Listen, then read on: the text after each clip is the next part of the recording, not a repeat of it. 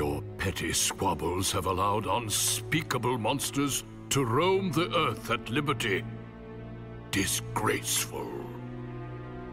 I don't know who you are, old man, but I advise you to choose your next words carefully. There is not one among you fit to wear the symbol of the Order. Knights, teach this dog to hold his tongue.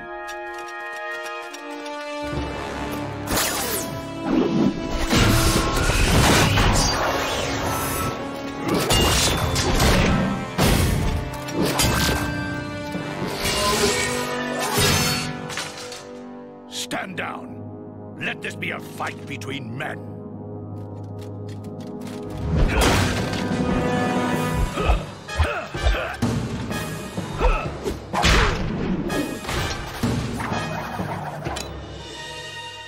Who are you?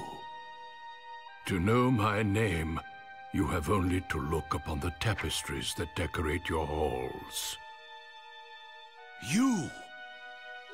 My lord, all hail George, founder of the Order, the original Forever Knight.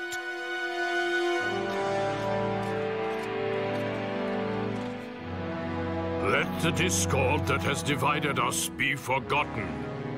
From this day forward, the Knights of the Order stand together as one. Now rise, brave knights, for I have been away too long, and there is much to be done.